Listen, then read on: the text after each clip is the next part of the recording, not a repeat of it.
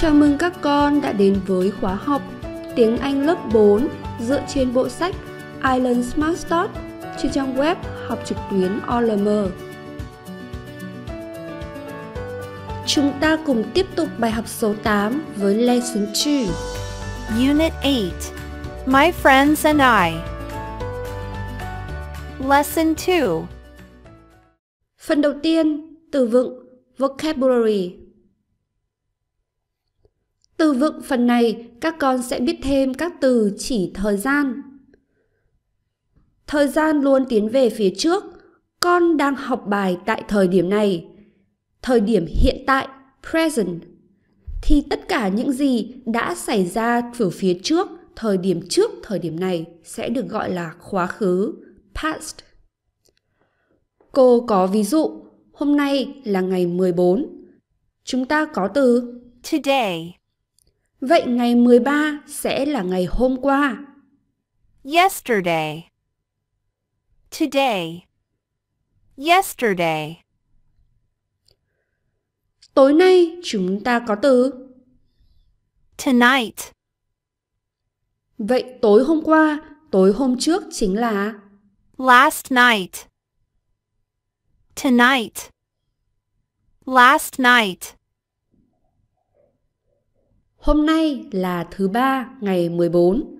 Vậy thứ ba tuần trước sẽ vào ngày mùng 7 và chúng ta sẽ có từ Last Tuesday.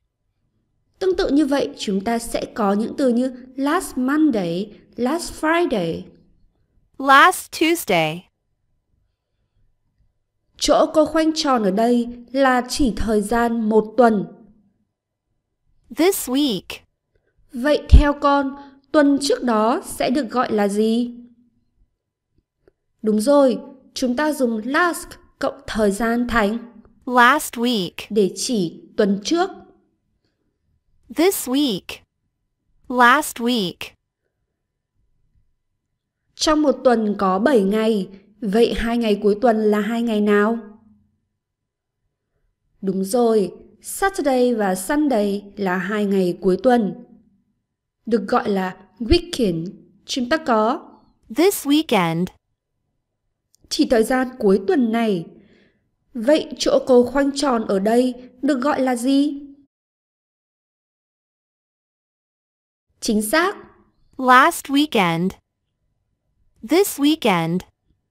Last weekend. bây giờ là tháng 2. Chúng ta có từ This month. để chỉ tháng này. Vậy tháng trước đó là tháng nào? Đúng rồi, tháng trước đó là January và chúng ta có từ Last month. để chỉ thời gian tháng trước. This month. Last month. Vậy là các con đã biết thêm các từ thể hiện thời gian trong quá khứ. Con cùng đọc lại theo cô. Yesterday. Last night. Last Tuesday. Last week. Last weekend. Last month. Yesterday. Last night. Last Tuesday. Last week. Last weekend. Last month. Rất tốt.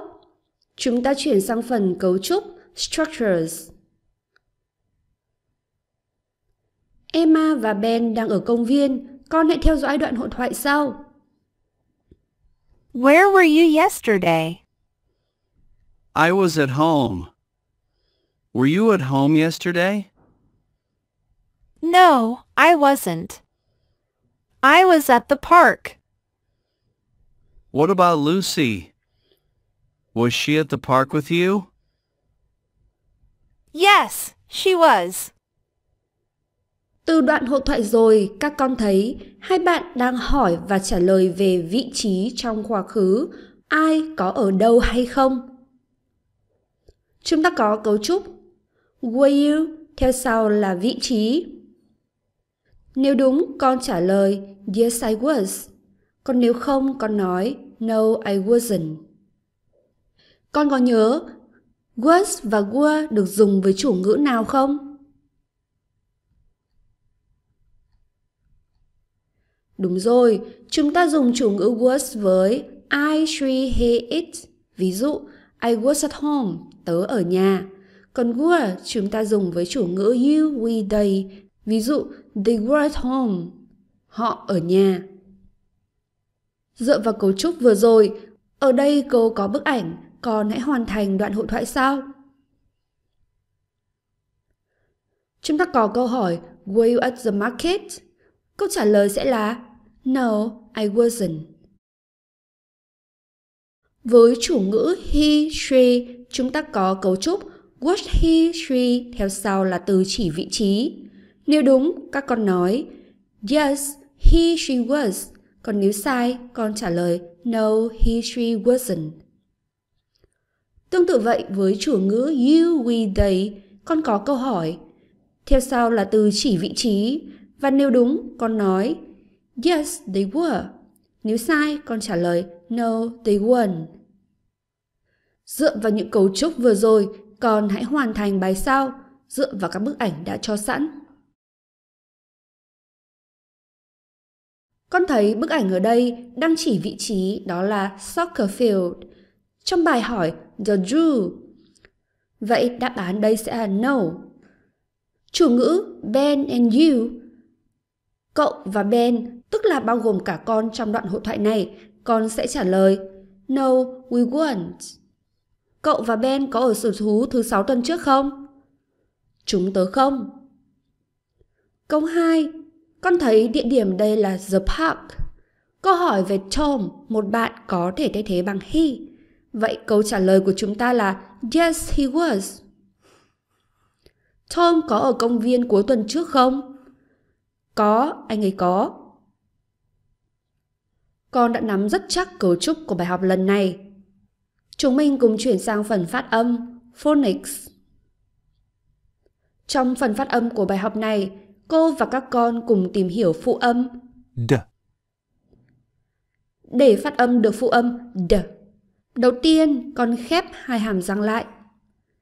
Thứ hai, đưa đầu lưỡi lên và chạm vào chân răng cửa của hàm trên. Sau đó, con hạ đầu lưỡi xuống để phát ra âm d. Đây là một âm hữu thanh, do đó khi phát âm, cổ họng con có rung. Con đặt tay lên cổ và đọc theo cô. D. D. Vậy phụ âm d có trong những từ nào mà chúng ta vừa học? Đúng rồi, Yesterday. Weekend. Có phụ âm d được thể hiện qua letter D. Con đọc lại theo cô. D. Yesterday. Weekend. Rất tốt. Tổng kết lại bài học này, phần đầu tiên con đã tìm hiểu về những từ vựng chỉ thời gian trong quá khứ. Phần thứ hai, con học cấu trúc hỏi và trả lời xem ai có đang ở đâu hay không. Và cuối cùng, đó là cách phát âm của phụ âm leader. Bài học của chúng ta đến đây là kết thúc. Hẹn gặp lại các con trong những bài học tiếp theo trên trang web học trực tuyến OLM